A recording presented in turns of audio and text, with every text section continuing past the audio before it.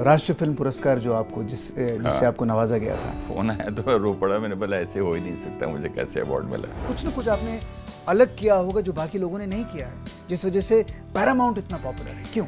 Students को बहुत ईमानदारी से आपको बहुत कुछ देना पड़ेगा। स्टूडेंट्स जानते हैं कि आप ईमानदारी से दे रहे हैं कि पैसे बना रहे हैं। कहाँ से शुरुआत हुई? आ, कैसे आप यहाँ तक पहुँचे?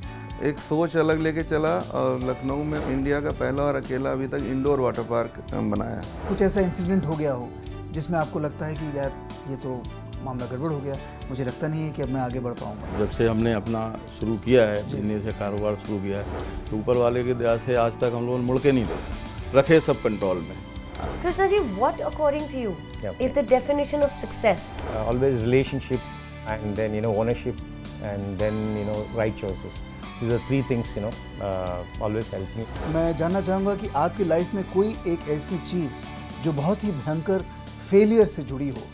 लोग बोलते थे अरे ये तो मेल कैंडिडेट नहीं है ये तो लेडी है ये हॉस्पिटल कैसे संभाल पाएँगे? लेकिन हमने प्रूव करके बताया है lady empowerment ladies are no less than males ये लीडरशिप क्वालिटी का एहसास कब हुआ? आपको चुनौती मिलती है तो आप उसमें जाइए। वहीं से रास्ता निकलेगा। एक दूसरे का हालचाल पूछते रहें मिलते भी रहें।